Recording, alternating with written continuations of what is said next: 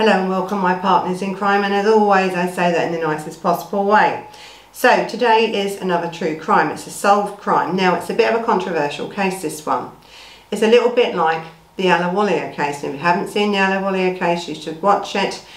I suppose it's about, um, this is a domestic abuse case, alright, but it's a it's it's like the Ahluwalia one because um, how can I say it? With the Ahluwalia case, Ahluwalia killed her husband because of long-term domestic abuse.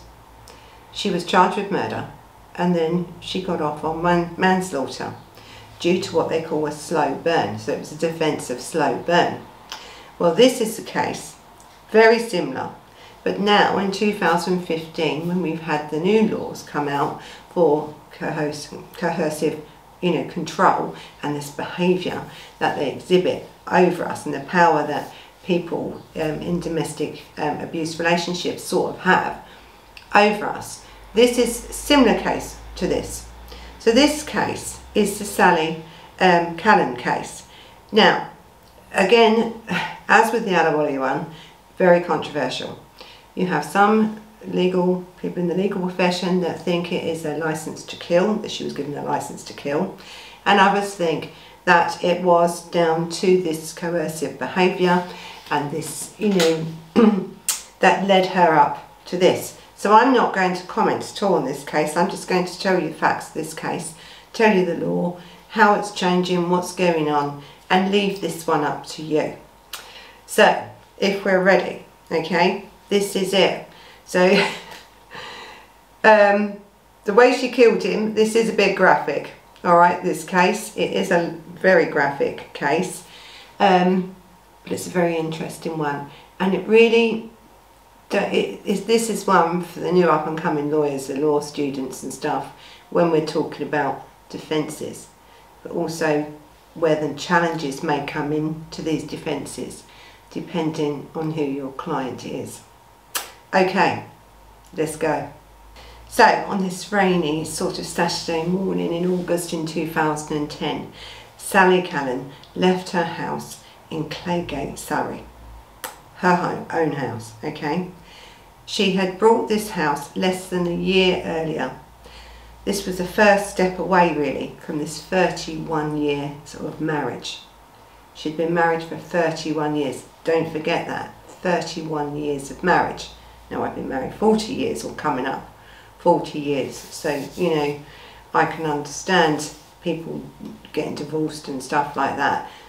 But she had left this marriage, got her own home, took a settlement, we'll come into that a little bit later on, moved out of the marital home, brought another home just around the corner after leaving a 31 years of marriage and she left him. That's another important fact.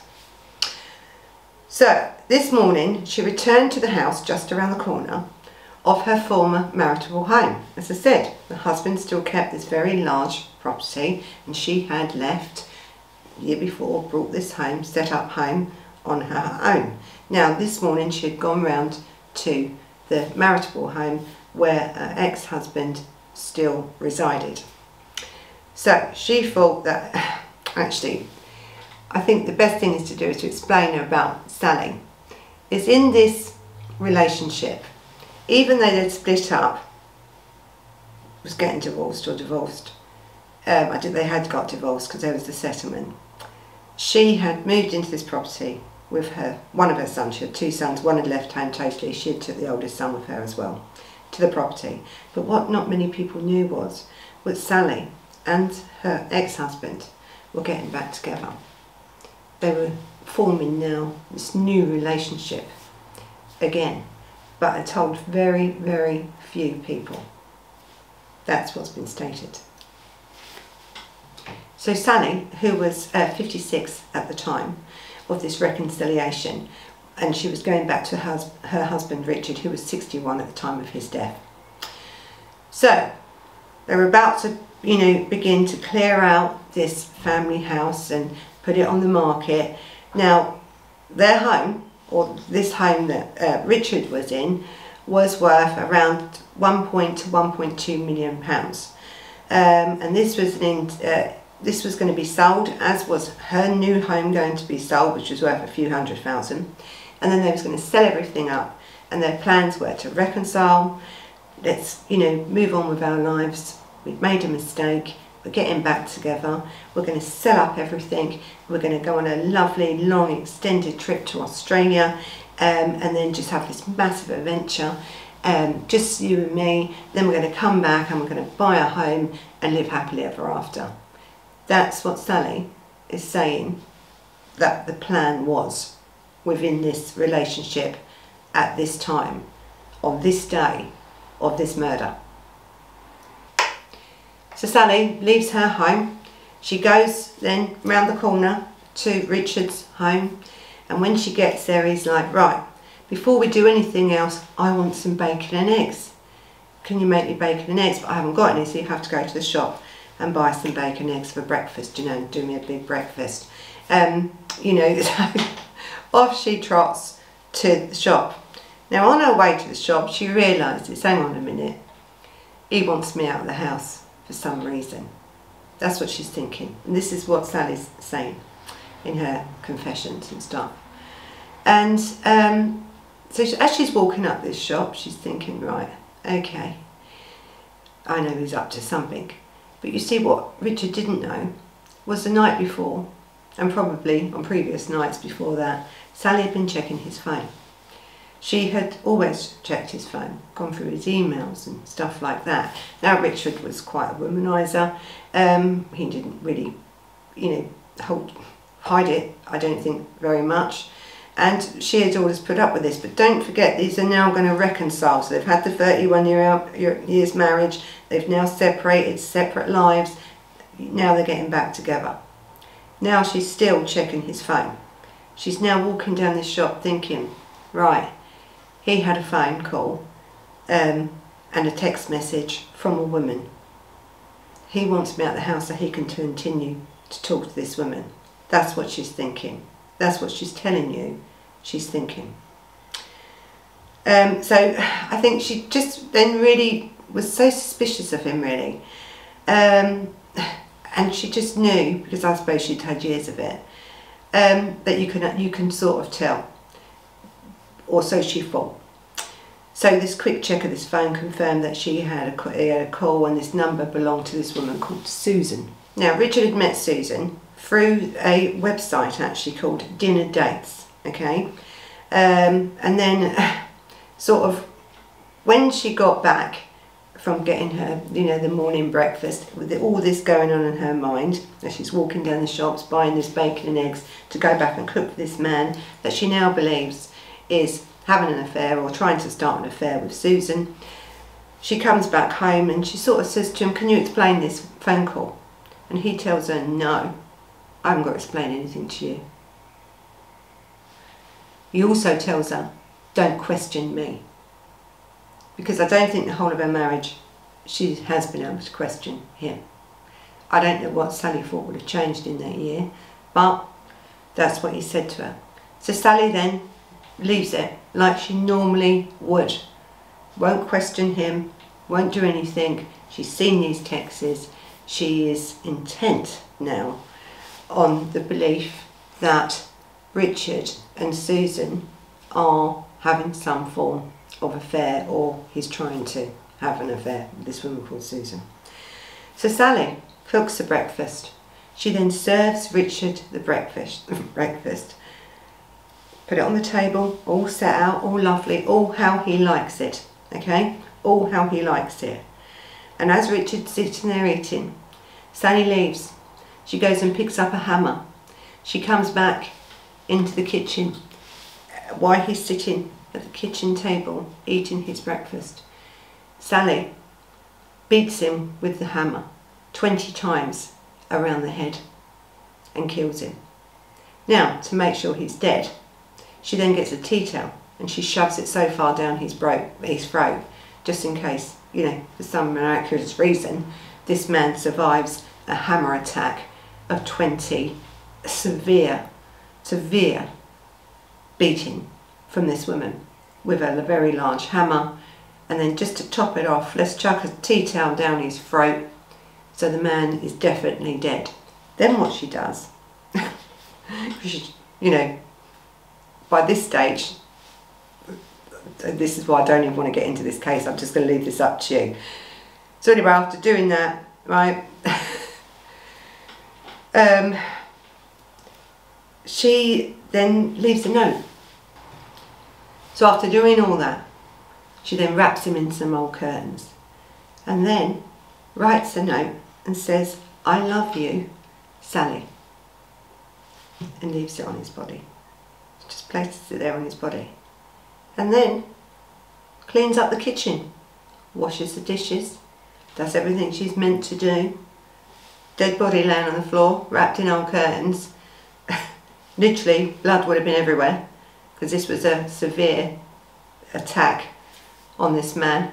Severe head injuries, at least 20 blows to the head, plus the tea towel shoved down his throat, so it wouldn't have been pretty at all. But she cleans up. She does her normal thing, cleans up, then decides to leave. So she drives back to the house, her own house, that she shares with her son David, or their son David. The next morning, after giving David, then at 23 year old, a lift to work, Sally drives to Beachy Head. She parks her car and then she calls her cousin and confesses and then walks to the cliff edge. It took the um, suicide prevention team hours to talk her back from the edge. But I think what I want you to take into this is that this woman has done all this the morning before, killed him, wrapped him up, left the note on there, cleaned up, drove home, never said a word. Not to her son, not to anybody. You know, to make sure he's dead, I think. Then, the next morning, she's still not said anything to her son. She's took him to work. Then she's drove to Beachy Head. She's had time to think and plan. And you can say she's had time to think and plan a defence, can't you? Or is she um, in this state of where this is really what's happened. There's no reason or rhyme to what she's done. Um, it's just an act of um, murder. There's, there's, you know, with this case, it's, it's very strange, but you need to know all the little details so, so you can make up your own mind whether you think this was coercive behaviour or whether it was just murder. And this is really the question with this case, because um, you know, it's difficult, isn't it, when you think because as we go through her past and his past, uh, there's not that much in it, to tell you the truth. Anyway, uh, ten months later, anyway, once they've talked her down, she's uh, you know, been arrested and everything else. And 10 months later, Sally then stands in the dock of Guildford Crown Court looking nothing like this well, wealthy, and she was wealthy, well kept, well managed woman.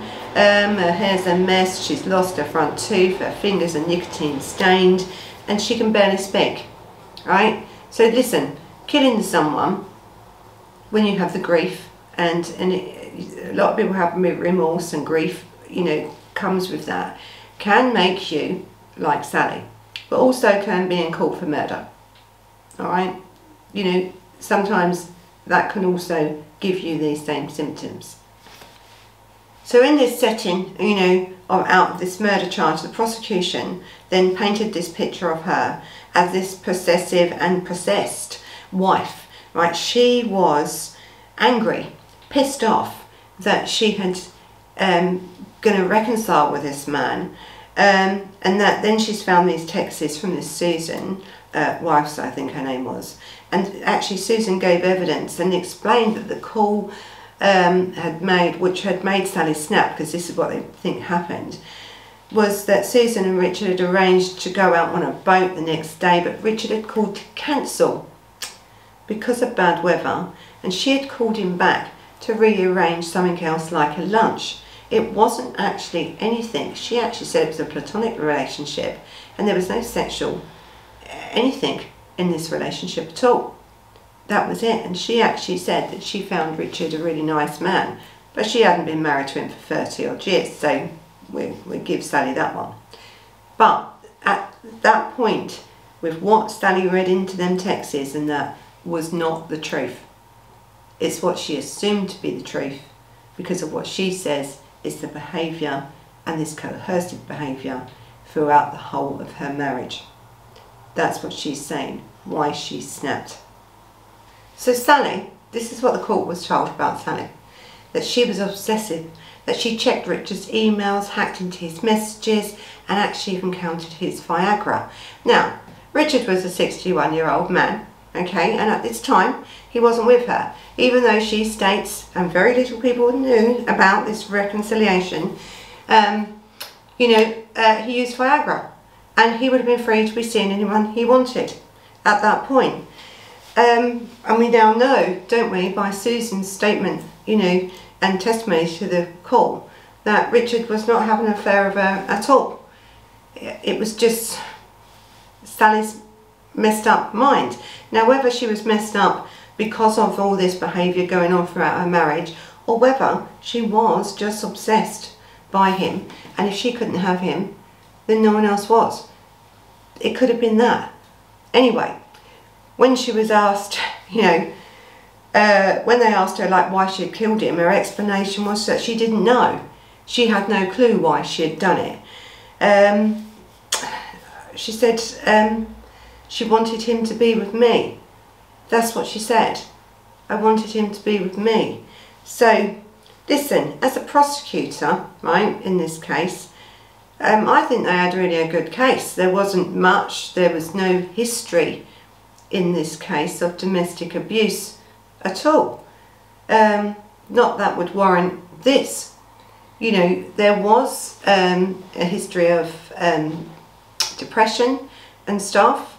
Uh, and listen, even his family, you know, Richard's family seemed to be on her side. So there was probably a lot about Richard that we didn't know.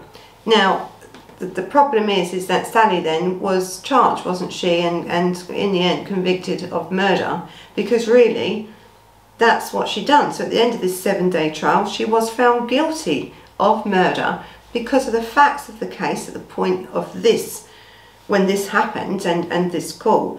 That's what was put forward to the jury.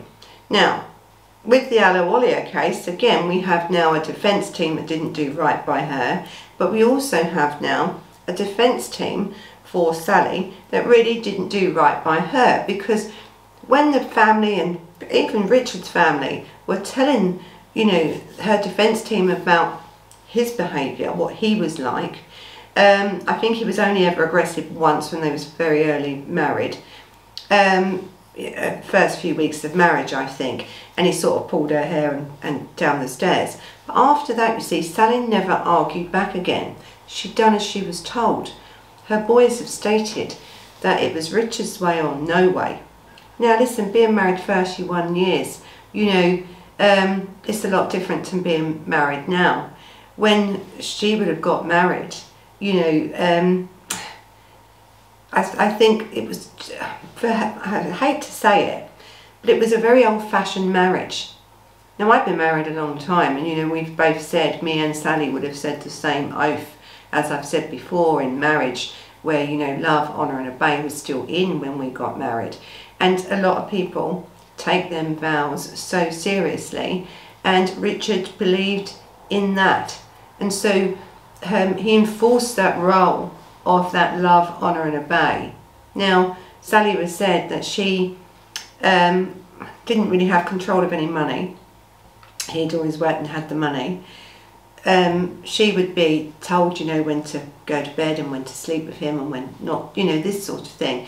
And that had gone on for many, many years because that was part of this early marriage that she had come um, accustomed to, I suppose. So whether she saw it as coercive control, because in our day there wasn't coercive control around, okay, actually until 1994, you know, I think it was 1994, um, the law changed where a man then could be um, charged with raping a wife. Before that, because you had this love, honour and obey, that couldn't be done. And we spoke about this in the Ahluwalia case and the different defences in there. But you see, this to her defence team didn't think of any of that, even though even his family, her and his sons, were saying what his behaviour was like. Because there was no domestic abuse, no doctor's letters, no, you know, most people, when we say domestic abuse and different things like this, you would have evidence. But a lot of people don't have evidence because a lot of people, for one, don't get hit because coercive control is not about physical harm, it's about psychological control. It's controlling you in a psychological way which is detrimental to your health and may end up doing something like this. And it was the same with Ahluwalia's case. Now, when I talked about Ahluwalia's case in this same sort of context, she was married for 10 years and she was beaten as well as psychological. So you had the, a lot of different abuses going on there and that control behaviour as well there. And um, really, she didn't speak very good English and stuff. And her, you know, I, uh, defence team let her down. And she was then charged and convicted of murder and got, you know, a sentence. And then on appeal, when they brought out, you know, the domestic abuse sort of side of things, she was then um, released out after done for manslaughter and released out on time served. And this is what's happened to Sally's case because now when we're talking about coercive behaviour, we are looking, aren't we, at people's mental states, what psychological damage someone, the control of someone over you can do over the years. And I think there are hints of it here with in Sally's case because when you think that when they'd done the divorce, I mean, the divorce lawyer had said that when the settlements were sort of trying to go through, you know, you're negotiating and stuff like this, it kept changing until really Sally's part became less and less and less. Now, Richard ended up with like a million, 1.2 million pound house. Sally got very little part of that settlement, even though she'd been married to this man for 31 years and it, they married with nothing and built this all up between them. So something was even looking wrong there, wasn't it, really? So do I think where there was con coercive, con uh, coercive control? Yes, I do. But to what extent, I don't know. And just because she's left him, she chose to leave him. But when you've been married to someone, and this was the same with Ahluwalia, Ahluwalia's husband was leaving her, and then she killed him. Sally's husband and her had already split up. They were going to reconcile, so Sally says, but they'd already split up. She couldn't cope with that split, even though she had chose it. It's very difficult for women in this sort of situation where you have been in this relationship, this controlling relationship, where they've done everything for you, even if they're hurting you, physically or psychologically, that control is still there, that need for them, because that has been your life for so long. So it's difficult, in, this is a difficult case this for people that don't understand it, and especially the law, because even sometimes when I read things like this, I think, you know, uh, this lawyer was good that who got this through. But anyway, when she, you know, and to say she didn't know why she killed him, she probably didn't. Right? So she's either very good, and as some lawyers have said, that she, it's really, she's planned it well, she's given herself a defence of this coercive behaviour which didn't come out till 2005, this case was 2010 and then, um, so once that come out, that gave her grounds for an appeal. But it also gave her grounds for appeal because of the way that her defence team didn't use any domestic abuse at all. Any control, whether it was coercive control or whatever, before. Because what they said is that they didn't want to blacken Richard's name. They didn't want to be seen by a jury or the public to darken the name of a victim of crime. But not all people that are victims of crimes are victims, are they? Really? Sometimes there's a reason why. But whether you're going to blacken someone's or try to blacken someone's, you know, character or whatever, the truth must come out. And they didn't do it. And that then left Sally open then to an appeal. That's why she got the grounds for appeal. One, because of the new laws of coercive behaviour, and two, because her defence didn't put up a defence for her in any way at all, like instant loss of control, whatever. They'd done nothing, diminished responsibility, they tried nothing. They listened to a woman that clearly was um, not right at that point. She tried to commit suicide the next day. But as the prosecution said, when you're looking at both these cases, Ahluwalia's and them, the prosecution's really got a straightforward case. And the defence just seemed to go with it. And that's wrong. If you're going to be a defence lawyer, then you need to defend your client and find out what's really going on. Because after 31 years of marriage, why did Sally just all of a sudden, one morning, after making this man breakfast, smash his head in with a hammer 20 times and then shove the tea towel down his throat? So far down, this man, that would have killed him, let alone any head injuries. There's a reason why people do it. She had 31 years to do it in. She didn't. Now when I usually teach my classes and we call it a slow burn, so in Ahluwalia's case it was a slow burn, wasn't it? And I say to my students it's like lighting a fuse. You know, you know these old bombs you get in the um, um, cartoons and you know they light them and it just slow flex isn't it? And it lights you know slowly burns until all of a sudden bang. That's what a slow burn is. That's what defensive slow burn. And women especially women who are victims of domestic abuse or coercive behaviour, react like that. It can take a long time, and it can take a long time actually between the, the last time that the person hit you to when you actually react. That's also part of it. So with Sally's, this coercive control, this behaviour that he exhibited towards her over these years, where he was a womanizer, he'd have affairs, and he was very open about it. And he was, you know, people sort of avoided going to Sally and Richard's house because of Richard, because of his way he was with women. He was sort of uh, all over you and, and spoke quite down about women, even to your face, quite sexualised in his way of talking. But was that enough to kill him for? She'd put up with it for 31 years. She's left him I don't know. But that sort of was his character. He wasn't well liked at all, really. And um, but did it mean he had to die? I'm going to leave that one up to you. So anyway, on sentencing, when she was first sentenced to murder, and she got life imprisonment, Judge Critchlow, uh, Critchlow. Now he told her that she'd been eaten up with jealousy at Richard's friendship with other women, and she probably was right? She probably was. You can tell that by the way that she was, you know, looking at his um, emails and counting his, you know, medications and stuff and, and stuff, just, just in case he, he needed that for somebody else. So you, you can imagine where the judge and that had got this from and also the jury. And um, I think it's like he said to her, you are someone that's killed the only man that you have ever loved. Uh, and you have to live with knowing that. And I think this is what I said when you see Sally 10 months later, is this a woman who's been Ill, eaten up with guilt over killing a man that she actually loved that much? She killed him. Really, it's a very difficult one, isn't it? This one to get right.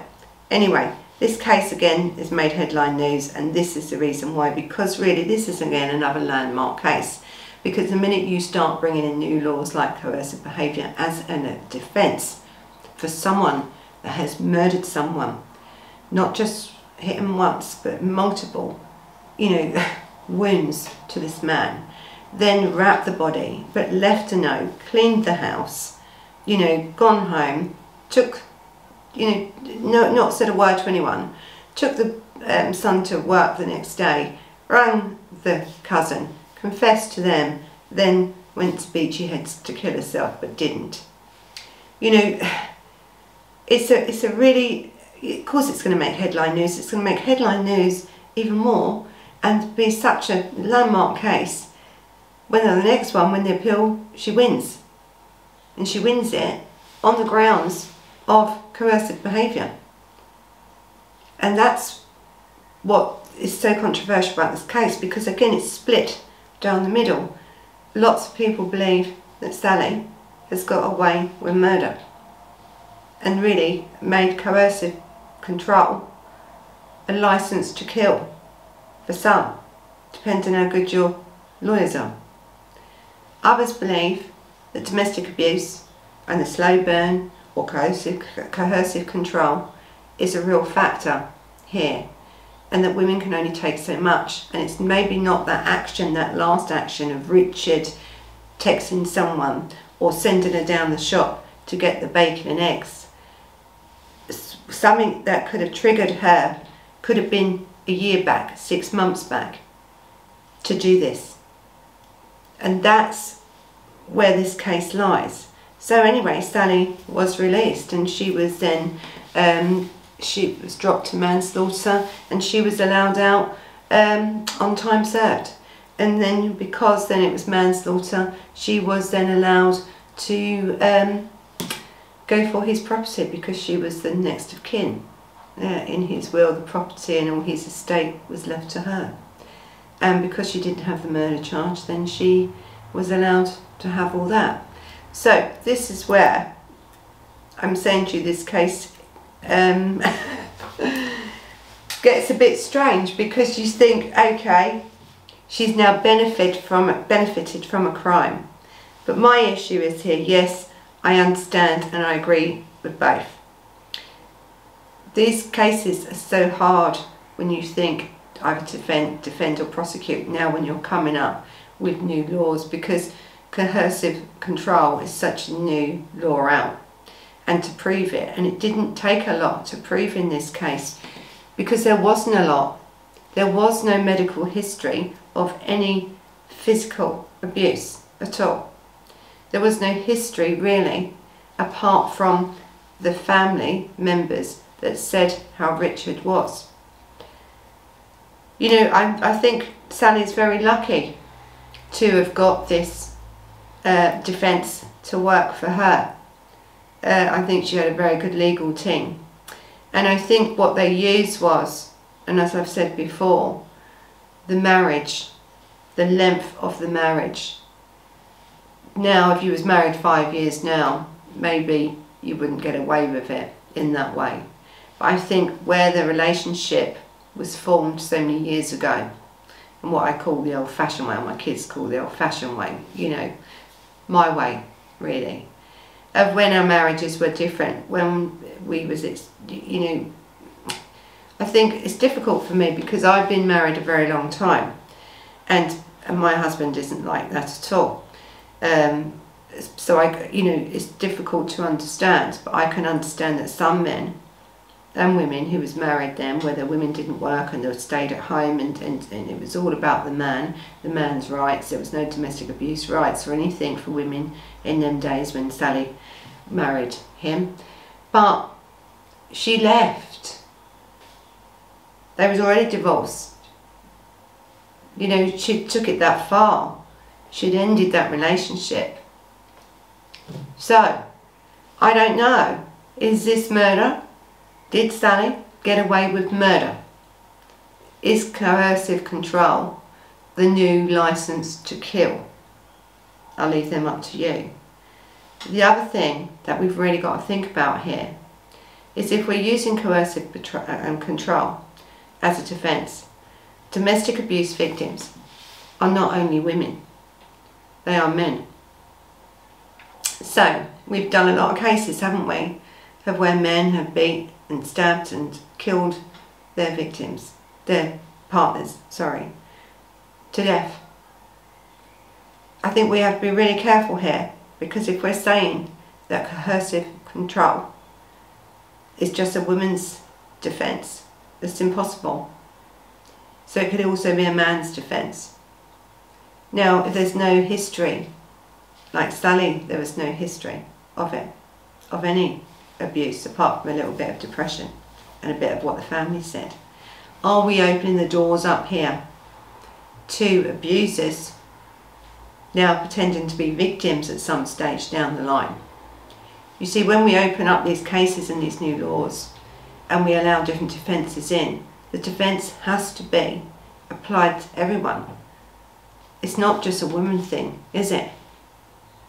Men are killed, quite a few a day actually, by in domestic abuse. And men are also prone to coercive control because they're in a relationship, the same as a woman is. And so this is my issue with this one. If she had more backup, I suppose, I don't know. You know, more evidence, I don't, I, I don't know. But she won and she's out and good luck to her, all right? But I will leave this case up to you because this is, for me, I've got my opinions and you may, uh, you may know it or not. But um, listen, it is what it is, isn't it? So, this is Sally Challen case. Coercive control, murder, manslaughter, however you want to put it, who served, I think, about nine years before her release. And her case then was dropped down to, or charges were dropped down to manslaughter, and she was then able to claim all of Richard's estate. So, uh, I just, I suppose you all know, or you can guess where I stand on. I just don't know. I, you know, this is a case for me. When I heard it, and I was, um, I heard it when it first came out, and I'm, um, I think even with the Woolley case, both these cases are cases that you can go either way on, right? But the facts of the case here, there is nothing there is no broken bones, there's no hospital records, there's no nothing that stated that Stanley was a victim of domestic abuse. It's her word and the word of some people that she knows and he knew that he was controlling, using controlling behaviour throughout her marriage. Is it enough to kill for? I'm not sure it is. But it's not for us to decide, is it? Because she's out, you see. I'd love to know your opinions on this case. Really, what do you think?